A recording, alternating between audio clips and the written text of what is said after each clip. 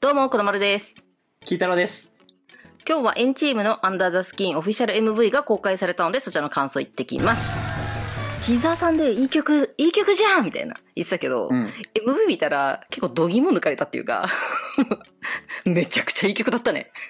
いや、本当に、めちゃくちゃいい曲だし、めちゃくちゃいい MV だった。わかる。え、ストーリー性もあるしさ。ねえ、なんかさ、そう終わった後に、え？何これめっちゃええやんってなって。そう。なんかさ、一回さ、俺、お互いさ、うん。マイクの音切ってお互い MV 見て、みたいな。うん、そうそうそう。終わった瞬間同じぐらいでさ、やばくない？みたいな。そうそうそう。マジで最高。ね、なんかすごい感動があったっていうかさ、MV 見て。うん。うん。エンチームやばいね。絶対。やばい。エンチームやばいし、ハイブやばい。ね、そうな。ね、もう、ごいほら、私すぐさ、ハイブのさ、ことになると資金力とか言い始めるじゃん。うん。今回もめちゃくちゃ資金力を感じさせていただきまして、そうですね。マジで。いろんなカットあるからさ。そう。場所ね、ロケ地もめちゃくちゃあるもんね。うん。うんお金かかってるなーってなったよね。そう。いや、だけどもうそのお金かけただけのクオリティというか、うん。うん、めちゃくちゃいいものになってます。さ え誰？ご報告の方？そそっかそっか。そしてさ、ほら、私さ、ふざけてさ、最初、YouTube でこれ再生した時に、う。うん坂口健太郎さん出てこいよねと言ったらさ、普通に出てきてさ、出てきたーってなったから。そういや、今回もいますって思って。やっぱり、元エンチームの方だもんね、多分ね。そうそうそうそう、託されて、託す前のさ、多分ね、うんそう、旧メンバーみたいな感じだから。そうそうそう。勝手にね、うちらの設定の中で勝手に旧、旧メンバーだと思ってるから。うんうんうんまあでもそういうとこでも多分もうちゃんとお金使ってるからできることでしょ、うん。うん、そうですね。いやー、なんかまたすごいのが、日本のさ、うんボーイズグループに殴り込みに来たなって感じがして、私はもうめちゃくちゃワクワクしてるよ。いや、そうだね、ワクワク。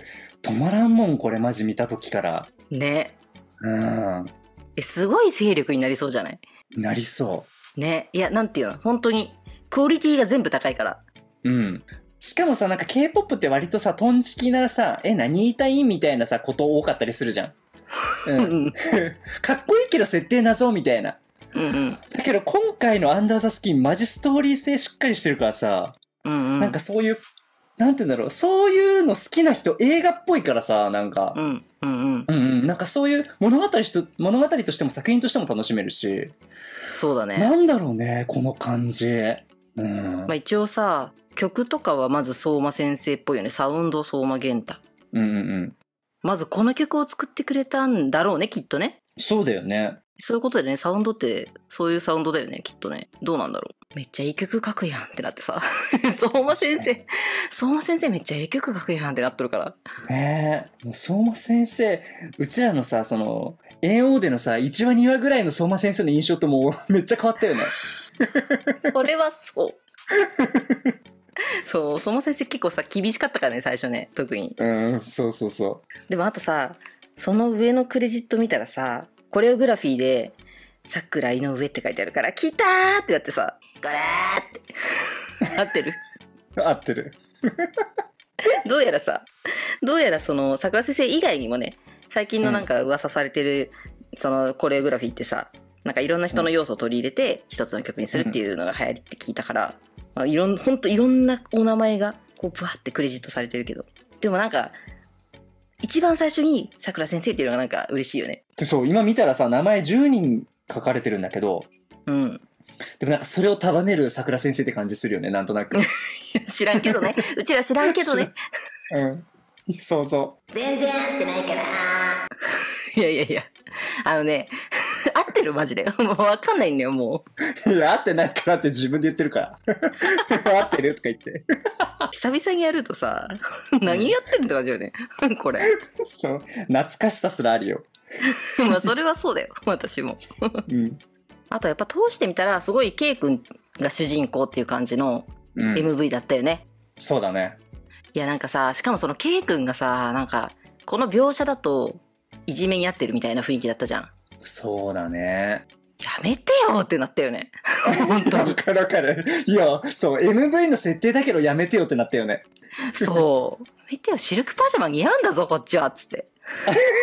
待って待って、どういう言い方、どういう言い分なんそれは？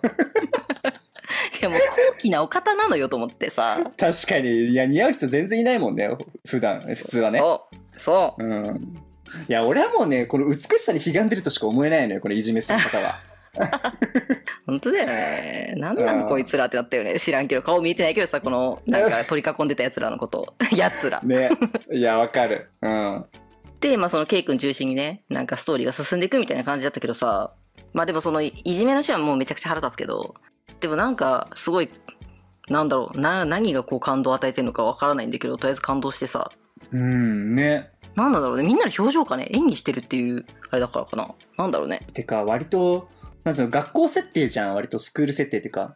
うんう。うんん、なんかそれもなんかやっぱ感情移入しやすいっていうか、わかりやすいストーリーだから、それもなんか良かったよね。ああ、そっかそっか。うん。そうだよね。結構、他にもい、他に印象残ったの結構、ゆうまくんとかも。ああ、そうだね。うん、うん、割となんか、ケイくんのこと気にかけてくれてたりとかさ。そうだね。ゆうまくん割とさ、そういうさ、人じゃなかった。うん。そういう人。そういう人。うん。すごい印象残ったもん。めっちゃいい。ね。なんかオールバック味がすごい似合わん？似合う。ねいいね。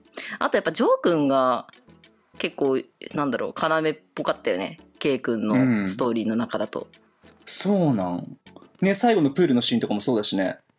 そうんう。。ね。でもあのプールのやつって大変そうだよね。撮影ね。あ、水の中だもんね。そうそうそう。なんかさ、韓国ってああいうスタジオもあるってあったじゃん。本当こういう撮影用の。うんうんうん。まあ、そういうところで撮るんだろうね。なんか、え、オール韓国でのクオリティが高すぎて震えとるよね、とりあえず。なんかあれなんかなね、繰り返し何回も見れてるわけじゃないから、予想ではあるけど、なんかケイ君さ、なんか、ちょっとそのいじめの描写からさ、なんか屋上行ったシーンあったじゃん。うんうん。でさ、でも、まあ、飛び降りようとしてる描写でもなかったけど、なんかそこでちょっとさ、みんなが止めてみたいな感じなのかな、うんうんみんなが声かけてみたいな。で、その後最後にさ、そのプールの飛び込み台からジャンプしたじゃん。なんか、うん、屋上がプールに変わったんかなみたいな。飛び込む場所が？落ちる場所そうそうそうそうそう。ほら、ここだったら飛び込めるじゃん。飛び込みたいってこと？どういうこと？いや、わからん。なんか、わーみたいになったんかなみたいな。ああ、そうだね。なんでこう上に行く必要あるんかなとは思うね。確かに。うんうんなんだろうね。そうそうしたら、もうすでにジョー君がいたから、ジョー君もちょっと似てる仲間なんかもしれない。もしかしたらジョー君もちょっと、あうん、ちょっと一人で、みたいな。あ、ああ、なるほど。そっか、仲間、うん実は仲間だったみたいな設定ってことだよね。これね。そうそう。なんかジョー君もちょっと一人っぽい描写なんかあったからさ、うんうん。まだまだこれはちょっとまだ考察足りんから、ね、全然読み深める必要があるんだけど。ハイブってそっか、考察多そうだよね。確かに。そう。うん。いや、ごめん、浅くてすいませんでした。うちらいつも考察に自信なんて全くないからさ。そうそうそうそう。考察しても放棄するもんね。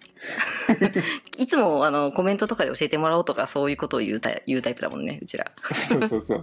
あとさ、ニコラス結構さ、なんかパート多いっていうか、すごいね。そう、ちょっと好きになる。なんかさらに好きになったもん、なんかニコラス。いや、わかるわかる。なんか、ね。表情も良くない？めちゃくちゃ。かっこいいよね。わからん。あの強い表情めっちゃいい。サビのさ、うんせーのとこ。うん。でも最近さ、ニコラスのさ、なんか、エンチーム学園見たらさ、めっちゃなんか日本語をそう頑張って喋って、すごい可愛くて、えー、と思って。ニコラス可愛いって言ったからね。私え。ー、えー、ニコラスが可愛いってもう沼じゃん、それ。そう。可愛くて、パフォーマンスかっこいいは沼だよね。うん。え、めっちゃいいね。ねえ。まあ、あとさ、ハルアがさ、うん。僕の心が叫ぶんだ今ってさ、ちょっと音少なめでさ、なんか、ハルアが中心になった、ハルアだけの世界みたいなさ、パートあるんだけど、すごい良くない？なんかさ、大声ダイヤモンドのアツコみたいな感じでさ、好き 好きってやる時のアツコみたいな感じで良くない？いや、ちょっと例えがあれだけど、まあそうだね。なんかそういうアイドルとかそういうのはもってこいのパートだよね。ちょっとね、静寂で、うん。その人に注目浴びて、みたいな。集まって、そう、んファンのみんなもそこ耳傾けるみたいなね。そう。うん、好きって言葉最高だもんね。そうだね。いや、春は好きってなるね。うまいことね。まあ、あとさ、やっぱ K 君がこう、前に来た時とかさ、まあ、サビの K 君のパートとかもそうだけどさ、結構さ、このダンス自体が割とこう足をめちゃくちゃ広げて広くあ広く開いて踊るようなダンス多いと思うんだけどやっぱさ、うん結構足長いからさ マジで。迫力すごくて。本当に。確かにコンパスみたいだもんね。そう。なんかいやマジこれを日本に見せつける時が来たかと思ってさ。ああ、確かに。やっぱケイ君のダンスといえばやっぱ迫力とかさ、うんうんううん。ん、なんかそういう良さじゃん。このかっこよさ、うんうんうん。うん迫力視力みたいな、シルクはプライベートだから。あとは美女の良さとか。うんうん。うん。でさらにさやっぱエンオーディション見て思ったこの歌っていう武器も入ってきてるからうん。いやマジパーフェクトボーイが踊る世界を見れるんですよはい。めっちゃ楽しみ。しかもさハイブってさ「M ステ」にやれないよね「M ステ」出れないとかじゃないよね。出れるよね。いや、ハイブ M ステめっちゃ強いから、そうだから、ん。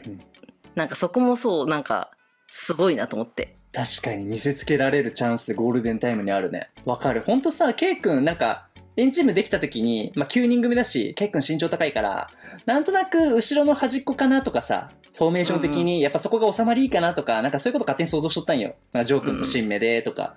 うんだけど、ガンガンこうやって真ん中に使ってくれるの最高だよね。そうなのこれこれみたいな そうそうそう、分かってるみたいな。いやー嬉しいねなんか本当にデビューするんだなっていう、なるねいやー、そう長かったけど、やっとだね。そううちら1個前の動画でさまださあのさ空白の期間の文句言っとったからさ 聞き返してびっくりしたからまだ言っとると思ってうちらと思って わかる、そう。練りも落ちすぎと思ったけどね。いやでもやっとだねやっとこれこれで本当に成仏できるねみんなねうん、できる。いい曲だったし、EMV だったし、なおさら。うわーほんとそうでもほんとよかったねね、うんそれ大切だもんねめっちゃ大切。で、うんてかもう嬉しいかんこれどういう風に展開していくんかね。なんかさ日本ではもちろん展開していくとは思うけどなんかほんと20みたいな感じなんかね。ほんと制作は韓国活動は日本うん。みたいな、だからあんま韓国で活動したりしてないのかな。最初はまずって日本からなのかな。うん。でもさああれか、AAA はさもう出る予定じゃん。エンチーム。うん。うん。うん。まあだからそういう大きめのフェスだったらまあ比較的出たりする可能性は高いんかねうん、そうだね。だんだん、やどんどん顔売っていくためにもね。あってことはやっぱケコンとかありえるってことかもねあ、ありえるね。ねそうだよね。まあ、ケイコンジャパンとか開催した日には、え、すごくない？なんかさ、ちょっと兼任してる方いるかわかんないけどさ、ラポネ組とさ、そのなんだろう、なんか一緒にステージ立つ世界線みたいなのあるってことか。その同じステージ、同じパフォーマンスじゃなくて、単純に同じ日にうん。やるとかさ。ああ、全然あるね。え、めちゃくちゃ戦国時代になってきたね。戦国時代ね。我々さ、ラポネ持ってるからさ、うんね、嬉しいっていうか、なんかすごいね、やっぱいい感じにさ、やっぱりライバルが増えるっていうのもさ、盛り上がっていくためにはめちゃくちゃいいから、うん。ほんと戦国時代だね。そうだ。なんか今、小声かのようにギターさんがつぶやいたけど。うん。いやー、でもなんかいいいい。だってほら、なんかね、そのデビュー決まった時の動画でも言ったけどさ、INI の尾崎匠くんとさ、まあ、ゆうまくんがさ、うん。まあ、繋がってたりとか、いろいろあるからさ、うん。うん、うん。なんか切磋琢磨し合って、ね、盛り上げていけばいいよねって、本当そうだよね。日本人がメインで K-POP をやるっていう点では本当一緒だもんね。うん。一緒。でも怖いのがハイブは資金力すごいから。ねえ、お金ちらつかされる。やっぱいいものを作るにはね、お金必要だからさ。うんうんうん。でもそれに触発されてどんどんね、日本市場がさ、やっぱこんなんじゃいけんば金かけなきゃいけないみたいになってって、他の事務所もどんどんね、今まで以上になんかクオリティとかもね、上がっていくともっといいよね。確かに、そうだね。その、K-POP の要素があるグループだけじゃなくてってことでしょ？うんうん、そうそうそいや、それはめちゃくちゃそう。すごい、う。ね。いいね。うん。そで、以上でね、今回はエンチームのアンダーザスキンオフィシャル MV が公開されたからそちらの感想言ってたけど、楽しみだね。活動が楽しみ。なんかステージで披露してるのを見るのがめちゃくちゃ楽しみ。う。うん。いや、そうだね。確かに。まださ、MV だからね、フルでさ、パフォーマンス見れてないから、うん。うん、フルだとどんな感じかっていうのも楽しみだし、そうだね。何よりも、ステージ、ね、歌番組ないし、ステージで見たいよね。うん。まあだからさ、エンチームの活動が楽しみだよね。そうだね。